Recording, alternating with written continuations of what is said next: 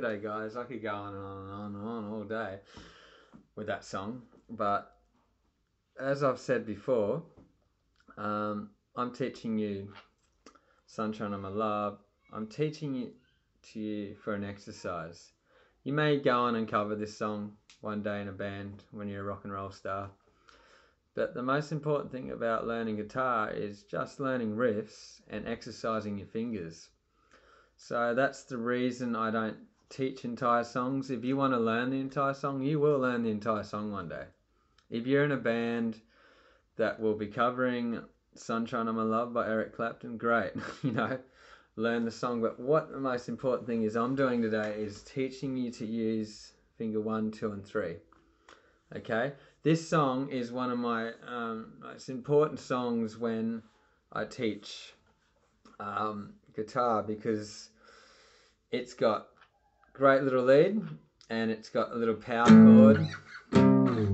So if you love this song, learn it and learn this version. Okay, it's pretty close. And um, Eric Clapton's using insanely cool guitar rigs um, and all sorts of pedals. So let's just get straight to it, okay? Um, just a little warm up, each string, spider walk run up.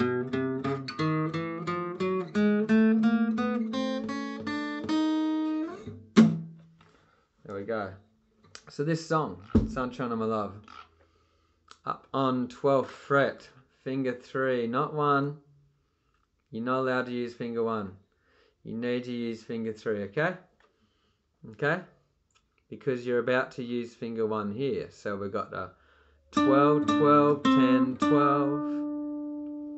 Okay, then above it, 12, 11, 10. So that's the gist of the, the, the riff at the start. So it's 12, 12, 10, 12. 10, 12, 11, 10. Okay? Then we do a 10, 8, 10 to string 6, 10, 8 on string 5 back to 10. So it's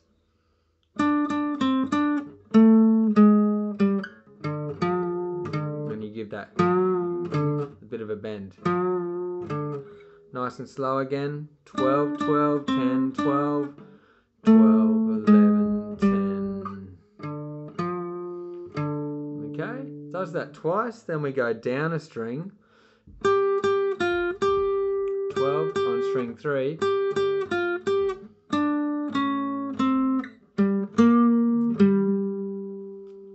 okay, let's do that again, string 3,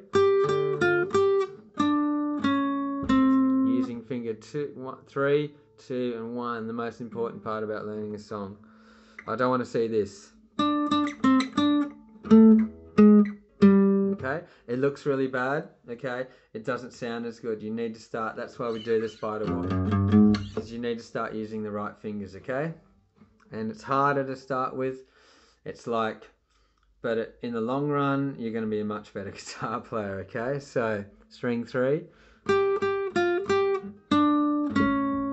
So 12, 12, 10, 12, 12, 11, 10. That same 10, 8, 10, but string down So string 5, 10, 8, back to 10 on string 5. So you got 10, then 8 on string 4. Okay, after that, okay, so learn that. Okay, learn nice close up here.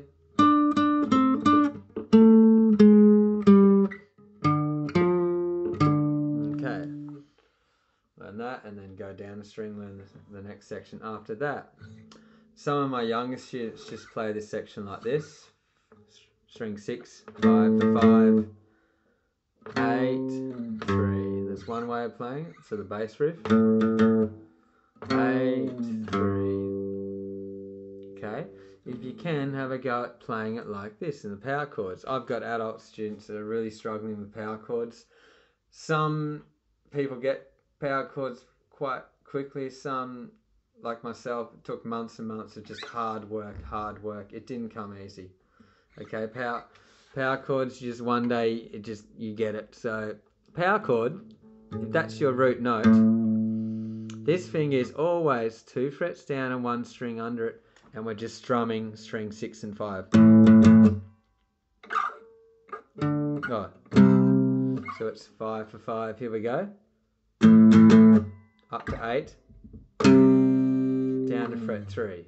See how this finger follows this other one wherever I go, okay? Watch this. This finger is like just following finger one. There we go. Oh, this is a perfect song to learn power chords on. Watch. Might even sound like this when you first play it. It's going to have all those other strings. That's normal. Okay, oh, it might sound like this.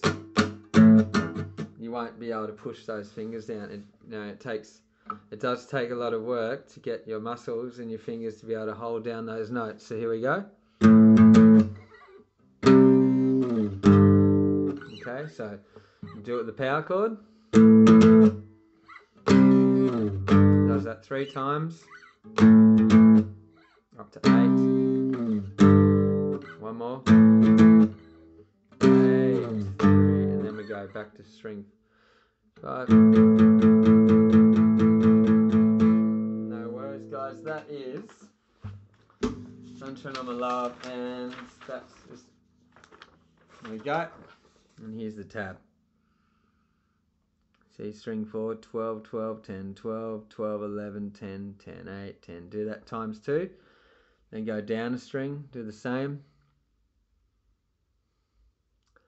And then at the end we've got 5 of 5, 8, 3. You can either, if you're a learner, just a beginner, just do the 5, 5, 8, 8, 3. If you're getting better at power chords, that's what a power chord looks like written out as tab. Okay guys, I hope you had fun on that. A lot of my students do know that song, but I'd like you to always just, just have a look at this video and just check it out again. You might pick up something that I haven't shown you before, okay? So um, thanks very much guys. Catch you later. See you next week.